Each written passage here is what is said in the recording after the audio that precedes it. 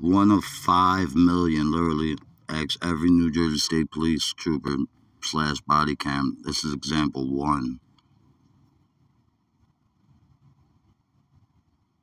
Look at who's faced with the cops trying to take my freedom.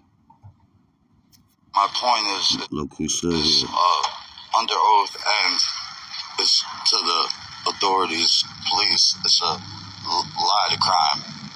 I mean, it's a crime to lie. Excuse me. I just posted the video of her in the police car the first time in a two hour basis where she tried to take my freedom. And there's 9,000 others, zero for a thousand, and she's still here. The lady I just posted in the cop car trying to take my freedom, and then called the cops an hour later again because I videotaped them laughing at Newman actions I'm not going to get into. And they tried to turn it around on me, but then the truth came out.